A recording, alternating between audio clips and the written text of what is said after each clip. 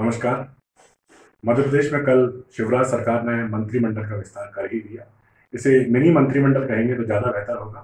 काफ़ी जाति संतुलन को मैच करने की कोशिश की है इसमें।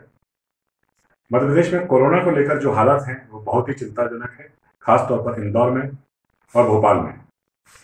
दोनों रेड जोन में हैं और मध्य प्रदेश में जो सोशल डिस्टेंसिंग की जो बात है, जो सरकार सब्ज़ी की दुकानों पर, किरानों की दुकानों पर सोशल डिस्टेंसिंग की जो बात कर रही है, उसका पालन नहीं हो रहा है, उस पर कड़ाई करने की ज़रूरत है।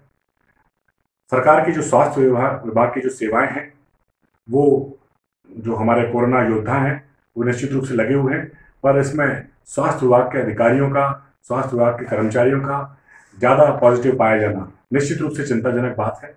इस पर काम करने की ज़रूरत है। और अंत में शिवराज सरकार को जो कोरोना के ऊपर सोशल डिस्टेंसिंग जो है, उस पर कड़ाई से काम करने की ज़रूरत है। अन्यथा जो हालात है, वो हमारे काबू में नहीं होंगे और हमें निश्चित रूप से इसके परिणाम भुगतने होंगे। यहाँ मैं एक बात कोरोना योद्धा की ज़रूर करना चाहूँगा। कोरोना योद्धा हमारे जिस तरीके से डॉक्टर्स हैं, जिस तरीके से पुलिस महकमा है, प्रशासनिक अधिकारी हैं, और जो अन्य कोरोना वॉरियर्स जो हमारे काम कर रहे हैं, वो निश्चित रूप से तारीफ़ करने योग्य है। लेकिन साथ ही साथ उनको भी संक्रमण की ओर संक्रमण से बचने की ध्यान देने की ज़रूरत है, जिससे जो हमारा जो कोरोना के प्रति जो लड़ाई है, उसमें हम कामयाब हो सकें।